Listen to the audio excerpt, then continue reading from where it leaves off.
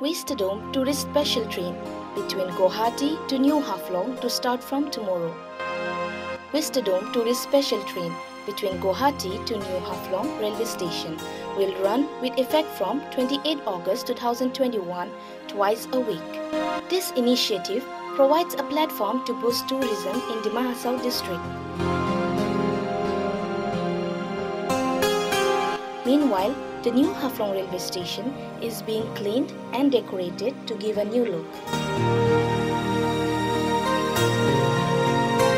Tourism Department, Mahasau, under the administrative control of NC Hills Autonomous Council, Haflong, has arranged a welcome program for the maiden run of the first ever special train for tourists of Dima Hasao district at 11.30 am at New Haflong station maintaining COVID-19 protocols.